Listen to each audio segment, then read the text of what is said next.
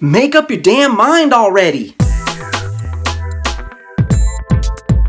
What do you want? This is a basic question. What do you want? A lot of people have a hard time just answering that. They say, hmm, I don't know, maybe this, maybe that, uh, I'm not sure, I don't know. I... Look, you gotta be decisive. You gotta make a choice right away. When you ask yourself questions or when you get asked a question, being decisive is powerful. Being decisive shows that you're in control of what you've got going on. When you wake up in the morning and you go into your kitchen and you can't be decisive, guess what's going to happen? You're going to reach for all of the things that aren't good for you. But if you can be decisive and make a choice right away, you're going to choose something healthy. Same thing goes for exercise. If you sit and contemplate and think, oh, what workout am I gonna do? Where am I gonna go? How am I gonna fit this into my schedule? You're never gonna get it done. Just choose, be decisive. Say, right now, I'm gonna go work out. And whatever it is, it's gonna happen. Being decisive gets you into action faster. And by getting into action faster, you're gonna be able to reach your goals faster.